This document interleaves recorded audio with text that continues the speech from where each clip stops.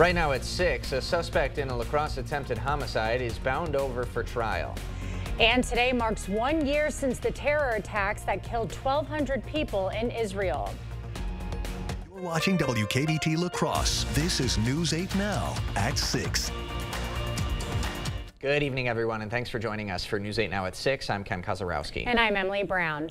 Jury selection began today for the man accused of killing Winona mother Madeline Kingsbury. That took place at the Blue Earth County Justice Center in Mankato this afternoon. Back in June, Adam Fravel's attorneys argued he would not get a fair trial in Winona County due to extensive media coverage. That motion was granted and the trial moved.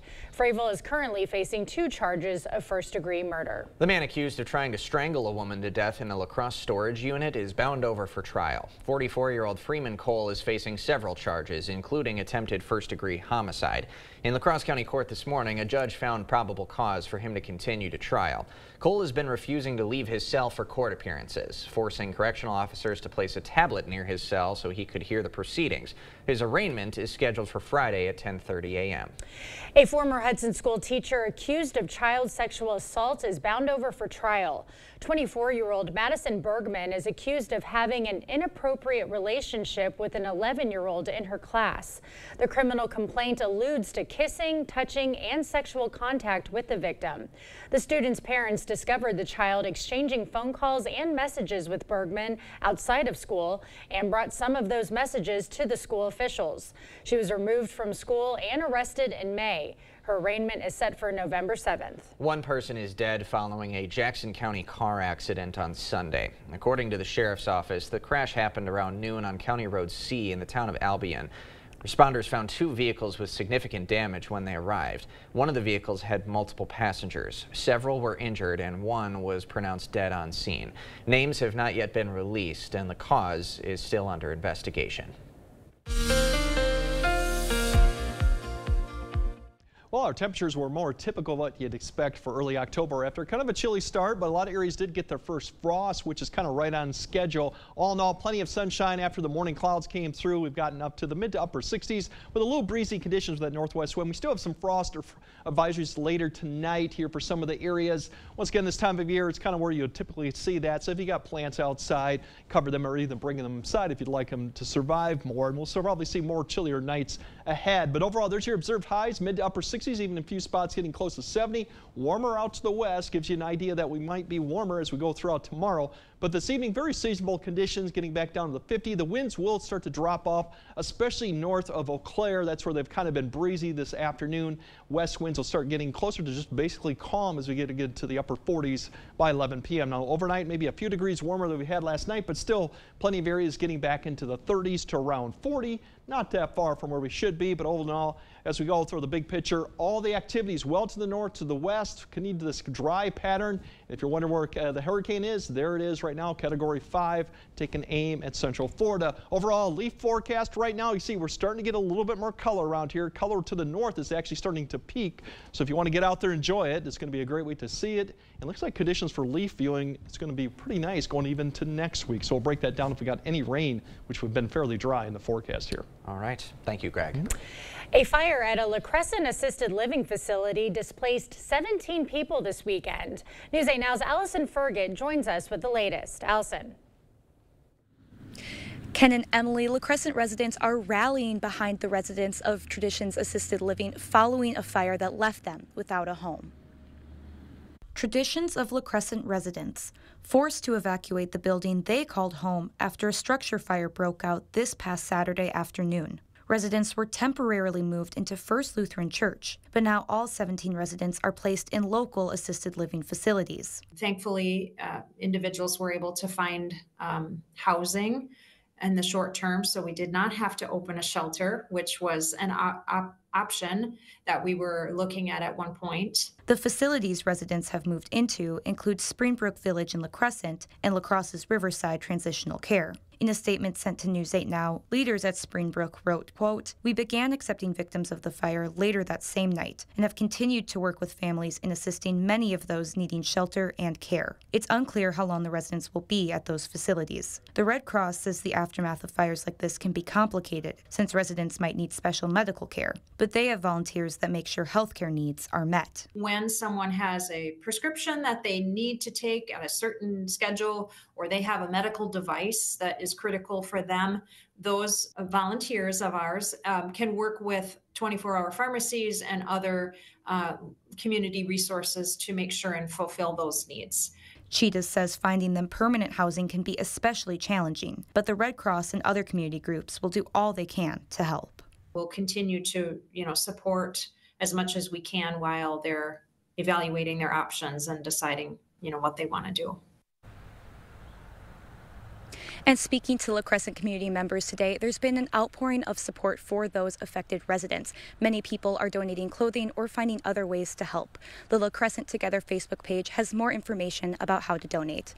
Reporting in La Crescent, Allison Fergit, Ken and Emily, back to you. Allison, thanks very much. We did reach out to the La Crescent Fire Department. They say the cause of that fire remains under investigation. Well, today marks one year since the October 7th terror attack that killed 1,200 people in Israel.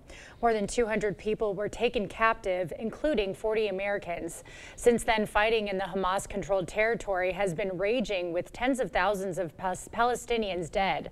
This morning, Congressman Derrick Van Orden spoke on the attacks and offered his sympathies to the Jewish community. This is the one year anniversary of the, the most horrific attacks on the Jewish people since the Holocaust. So if you do have Jewish friends or relatives, give them a call today, please, and tell them that you're thinking about them. Tell them that you're doing everything you can to make sure that not only do they survive as a people, but they're able to thrive and live in peace. Senator Tammy Baldwin also released a statement commemorating the anniversary of the attacks, stating one year ago, the world witnessed Hamas brutally murder 1,200 Israelis, kidnap hundreds of others, and plunge the region into chaos. My heart is with all those mourning a loved one taken too soon or those still lying up at night unsure if a family member kidnapped is alive or not. $3 million. That's how much money La Crosse's public library is getting for renovations. Governor Evers and the Wisconsin Department of Administration is announcing $115 million in ARPA grants to revitalize libraries and community centers statewide. La Crosse will be using its portion to expand the library with three additional classrooms, five meeting rooms, and two computer labs. The City of Independence also receiving a sum. They're bringing in just over 4 million to build a brand new community learning center and public library. The U.S. Fish and Wildlife Service is asking boaters to give wildlife a rest at voluntary waterfowl avoidance. These areas on the Mississippi River are marked with orange and white buoys. The plants that grow in these areas are critical food sources for ducks. By keeping boats out of the refuge areas, it will provide a safe place for birds to rest, giving them a better chance to reach their winter habitat with enough body fat to survive. Stopping places here on the river are very similar for birds. It's kind of their it's their rest area, it's their gas station, and, and they need that time to be able to rest and feed in order to have a successful migration, just like uh, we need gas stations to gas up our cars. So. Now the areas will be marked October 15th through the end of duck season. A La Crosse homeless encampment is cleared out. More on the cleanup and what's next for the unhoused. We need real working people in Washington. What a phony. Cook spent the last decade working as a political operative, earned her money helping defund the police radicals like Mandela Barnes, the most anti-police candidate in Wisconsin history. Now, Cook won't let you protect your family. She wants to ban the most popular rifle in the country, earning an F from the NRA. Rebecca Cook, phony insider, dangerously liberal. I'm Derrick Van Orden, and I approve this message. Phones were made to help us connect, yet somehow they've made us less connected. Which is ironic. Don't you think? We try to put our phones down, but we need to pick them up to see the menu. We can't watch something without also watching something else. Ironic. Ironic. Ironic. But look, here's a phone company who wants you to use your phone less. That's ironic. Yeah, but in a good way. Let's find us again with Us Mode. U.S. Cellular, built for us. Traffic jam. Ugh, and I'm already late. Arthritis, high blood pressure, Breast cancer. Almost everyone has a pre existing condition and could lose health insurance if Derrick Van Orden and Washington insiders get their way. They take money from big insurance companies, then try to strip coverage for pre existing conditions. Van Orden and Washington insiders don't care about you, so if you get sick, you get dropped. Time to drop Derrick Van Orden and these Washington insiders from Congress. I'm Rebecca Cook, and I approve this message. He murdered a father of three, sentenced to life in prison. Kamala Harris pushed to use tax dollars to pay for his sex change. I made sure that they changed the policy so that every transgender inmate would have access. It sounds insane because it is insane. Kamala was the first to help pay for a prisoner's sex change. The power that I had, I used it in a way that was about pushing for the movement, frankly, and the agenda. Kamala's agenda is they, them, not you. I'm Donald J. Trump, and I approve this message. Your journey to wellness begins at Vernon Memorial Healthcare, where excellence in orthopedic care is a reality. From initial consultation to post operative recovery, every step of the way is tailored to you. The numerous awards for orthopedic services are a testament to our entire team's skill and dedication. Your path to wellness is paved with our unwavering support and expertise. Trust us for a brighter, more active tomorrow. Vernon Memorial Healthcare. The Harris Baldwin border policy puts Wisconsin families at risk. Two children stabbed to death, an illegal alien charged with their murder, a mother sexually assaulted, her daughter abused, a Venezuelan gang member here illegally charged.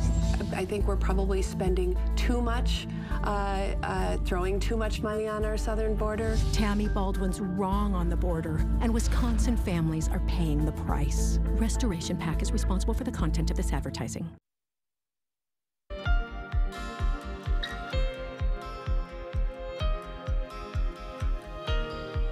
Wisconsin DOT contractors are clearing out the homeless encampment over on Rose Street. La Crosse police are keeping an eye on things as about 30 people leave the area around the Welcome to La Crosse statue across from Bridgeview Plaza.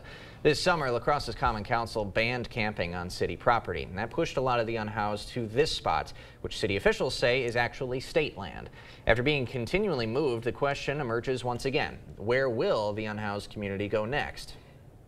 I'm just glad they're doing something about it, but I'm scared in the same sense because I don't know where they're going to go. Every neighborhood is at risk of having their garage broke into and stuff, and it's not okay. The DOT had given the people at the encampment a 30-day notice in September, citing safety concerns for both residents and drivers. As they clear that area, they say they're still trying to connect people with housing resources. A La Crosse nonprofit is temporarily closed after a car crashed into their building. Hope Restores is an organization focused on connecting the African American community with local services. The nonprofit announcing in a Facebook post that a car was allegedly drag racing struck a staff member's truck on Saturday, in turn causing damage to their building on Copeland Avenue. Hope Restores is now waiting on an inspection and damage assessment. Well, we'll have more news ahead. But first, Dry conditions continue. We've seen it, not much rain the last couple weeks, and unfortunately the forecast does look dry. But if you want to see another 80 degree, I got that in the forecast too. We'll break all that down with the details coming up on your first one weather update after the break. Get an 11% rebate on everything at Menards. Shop our huge selection of Great Lakes vinyl plank flooring. Monarch vinyl plank flooring is durable, pet friendly, and waterproof. Plus, it features a sound reducing attached pad. Pick it up for just 339 a square foot after rebate. Check out our great selection of cabinets from Quality One. These ready to finish oak kitchen cabinets are ready to take home today. Get an 11% rebate on all Quality One cabinets. I'm a nurse in Wisconsin, and my patients don't want politicians like Eric Hovde making their healthcare decisions. I am totally opposed to abortion. Hovde means what he says about opposing reproductive rights. Eric Hovde supported overturning Roe v. Wade, which led to an abortion ban in Wisconsin. And that's a ban with no exceptions for rape or incest. What Hovde supports criminalizes abortion and doctors like me. We need to vote against Eric Hovde. Win Senate is responsible for the content of this ad. There are over 21,000 Wisconsin veterans struggling to pay for rent and utilities. Thank you for your service. Many are also facing issues with their mental health. Thank you for your service. We must do more to help these heroes who have already sacrificed so much. Thank you for your service. Thank you for your service. Thank you for your service. Words simply aren't enough. I'm sorry. Make a difference by donating to this critical Wisconsin survival safety net today. Who's that Derrick Van Orden think he is? He thinks he's better than us. Like that time he screamed at somebody, I don't give a f- who you are. I'm a congressman. Language! Who does Derrick Van Orden think he is, supporting an abortion ban? I'm Rebecca Cook. Let me tell you who I am. I grew up on a dairy farm, run a small business, and I wait tables. Around here, we work hard, respect our neighbors' freedoms, and aren't looking for special treatment. We need one of us to represent us. That's why I approve this message. To everyone who craves a fresh meal, come have a taste of Wisconsin. America's Dairyland. As in real dairy. It gives Culver's fresh frozen custard its famous rich and creamy flavor. Like really rich. So rich. Rich and creamy. And our cook-to-order Butterburgers? They're topped with, you guessed it, Wisconsin cheese. But it's the smiles we put on your face with every meal made just for you. That really makes our hearts melt. From Wisconsin with love. Welcome to Delicious.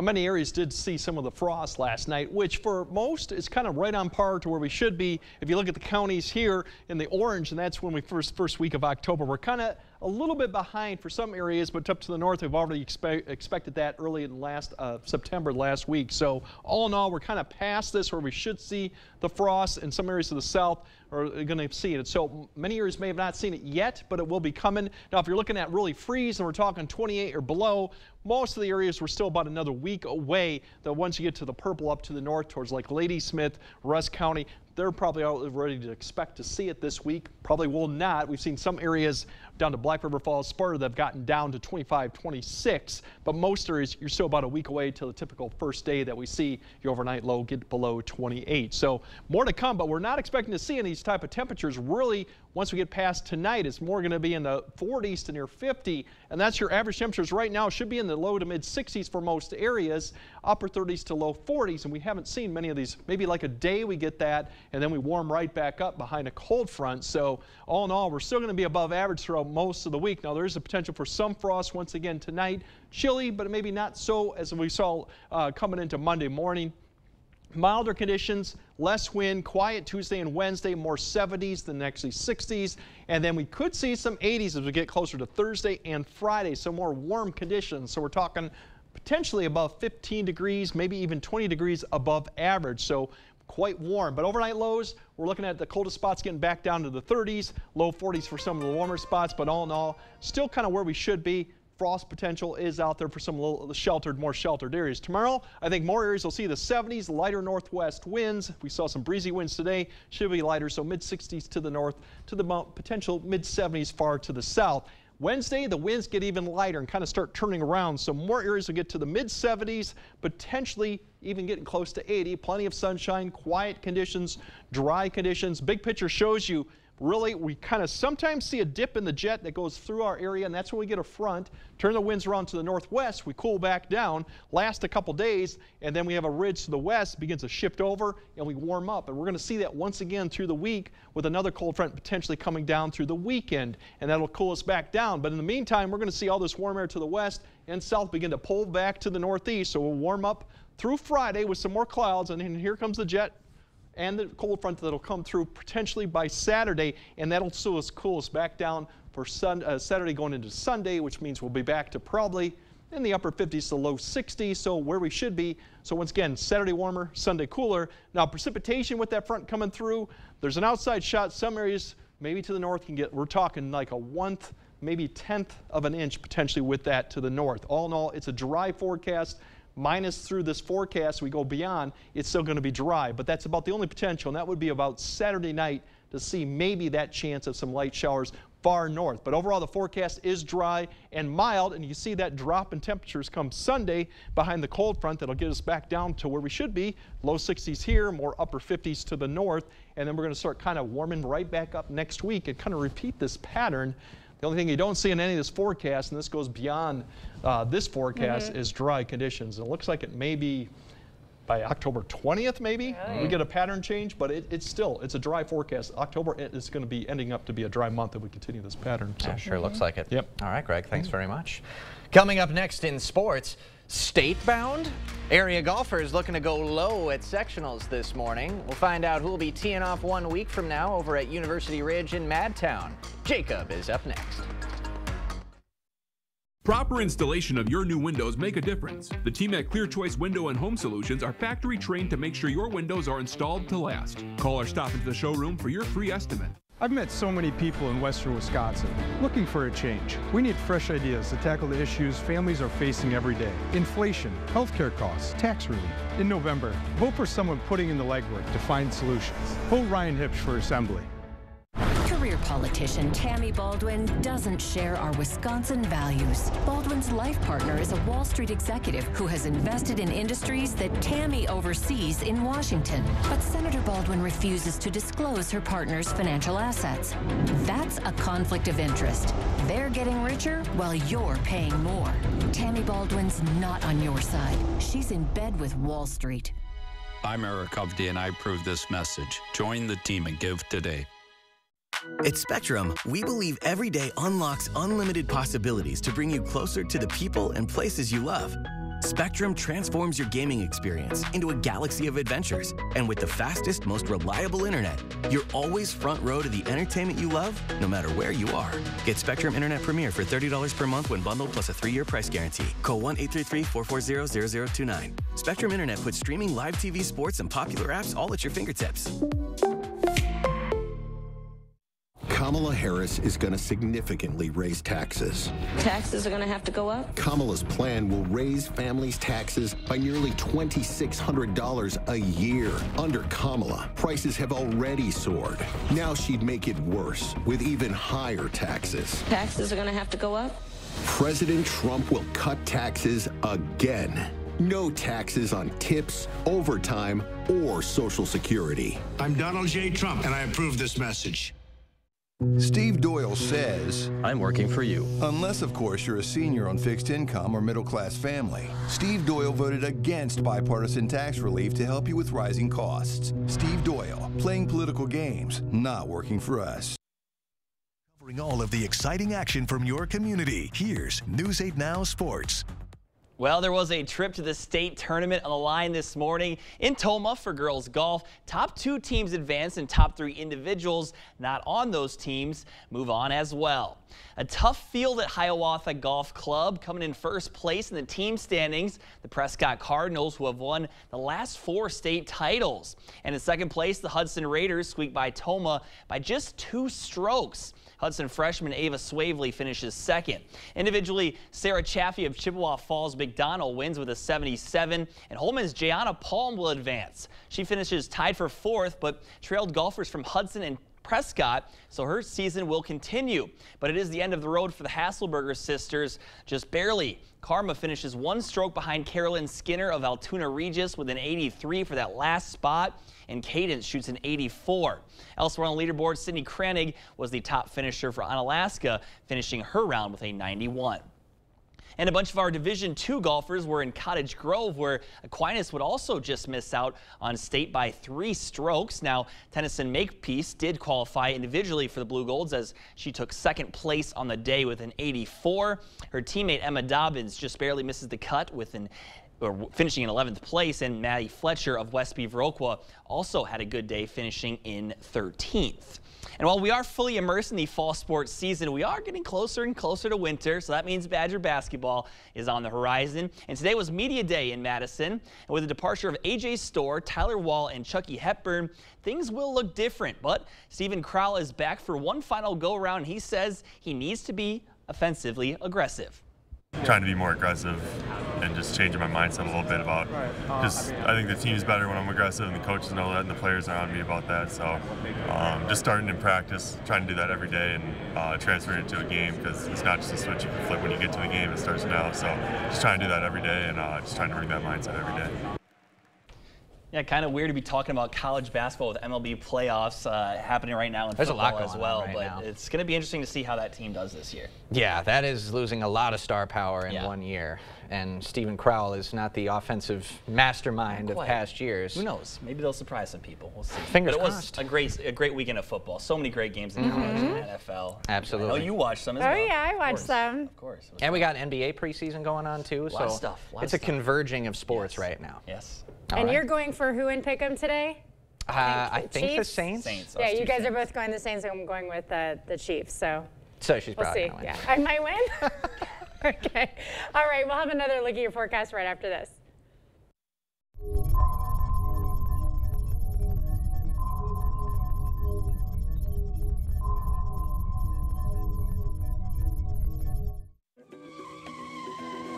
Is your vehicle loan taking you for a ride?